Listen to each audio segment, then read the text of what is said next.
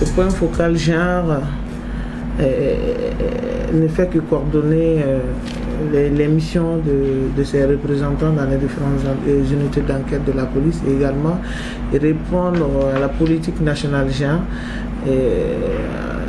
parce que je, suis tenu de rendre compte également au PNVBG, parce qu'il y a une langue nationale qui dirige tout ça.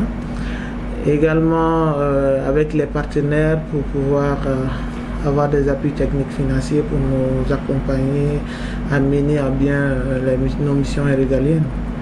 Voilà, et également à diligenter